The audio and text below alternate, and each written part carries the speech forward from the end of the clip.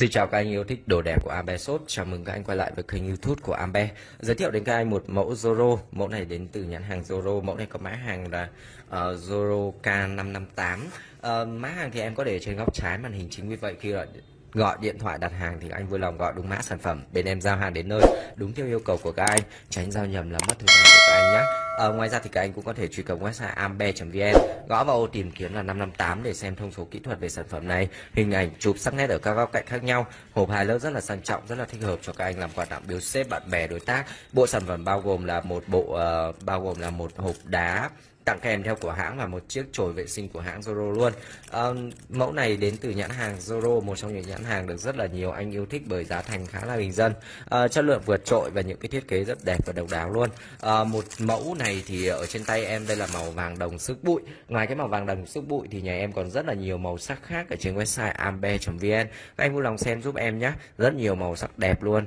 Đây là một chiếc bật lửa sử dụng xăng đá và cơ chế đánh lửa. Rất hay, rất độc luôn uh, cơ chế rút nắp các anh nhé rút tương tự như Zippo và cách sử dụng tương tự như Zippo. Ở đây là phần chạm xăng phần chạm xăng cũng được làm từ đồng. Chính vì vậy rất là kín luôn có phần răng luôn. Một lần châm xăng thì các anh có thể sử dụng từ 15 đến 20 ngày luôn. Đấy rất là chất luôn. Uh, tất cả được đúc khối chính vì vậy rất bền rất đẹp luôn. Chất lượng rất là vượt trội. Uh, các anh nhìn thấy là rất là dày dặn. Cái này uh, nếu mà các anh có lỡ đánh rơi thì cũng không thể mà hỏng được. À, bề mặt trơn như thế này các anh cũng có thể khắc tên của mình lên sản phẩm nhé à, cái thiết kế bên ngoài rất là cổ điển dáng dấp rất là hay rất là độc. Và cái anh gạt phần chụp bấc này lên để đánh lửa.